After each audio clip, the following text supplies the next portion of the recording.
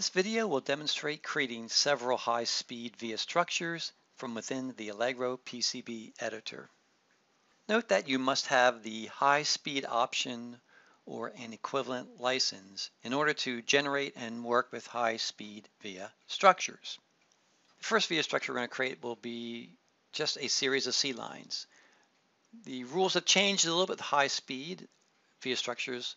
With standard via structures, you could only create a via structure that was going from a pin to a via, and that was it. With high-speed via structures, we can use more items. So in this case, we're going to create a via structure with multiple C lines, but only C lines. So we're going to use the route via structure create high speed command. We'll give this a name. Let's call this breakout.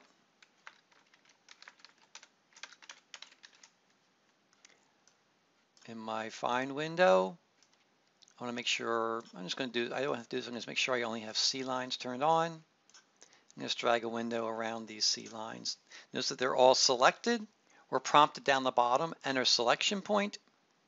So I'm going to choose the top left-hand point here. Now in this case, since I only have C lines, I do not have any return path connections, so I'm going to say no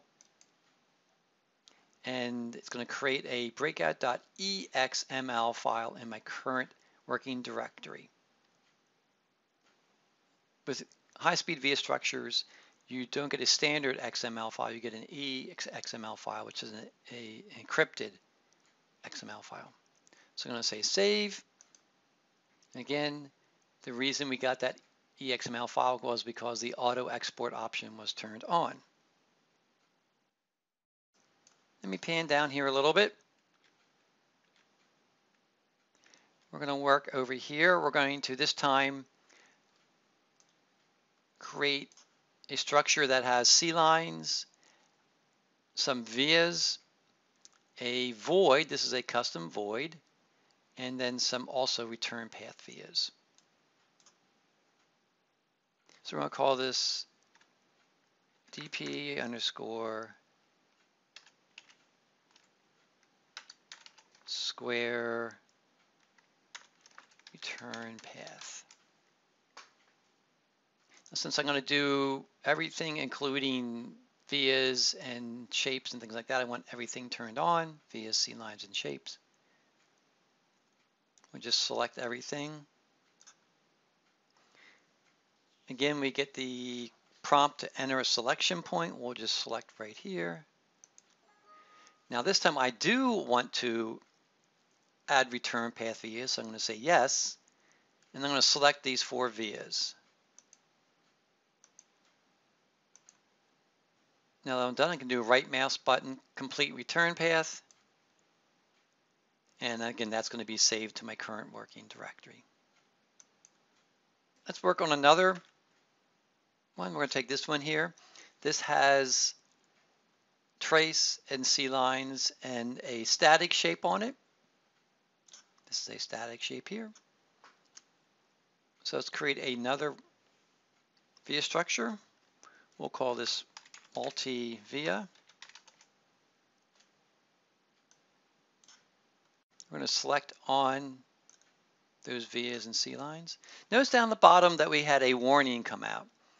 It basically said, it looked in that area and said, okay, I got some shape, I got shapes on there, and we look at our visibility window. Notice that not every single layer is turned on in my design. There are some shapes on other layers that are connected to these vias, but they're not displayed. And when we're creating our via structures, we can only create them with what is visible. So what I want to do now is I'm going to turn on all of my etch layers. Etch layers, I'm going to turn them all on, and all my plane layers. I'm going to reselect all this. So now I'm going to reselect all this after doing my oops. Notice now I did not get a warning. I want to have a origin of this. I'll select there and we'll save that XML file.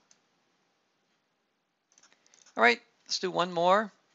This one is kind of just another standard one. It has return path vias, shapes, and avoid. The shapes are the fillets on these vias, and this is a custom void. So let's give this one a name.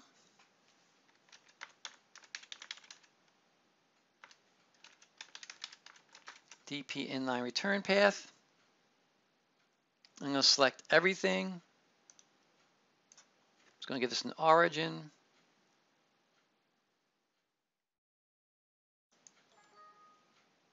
And I say, yes, I want these to have the return paths. I'm going to use this via and that via. Do a right mouse button, complete return path, and that'll be saved to disk. So you notice that all the different ones, there's breakout, DP inline return path, which I'm working on right now, DP square return path, which is right there, and multi-via, which is right there.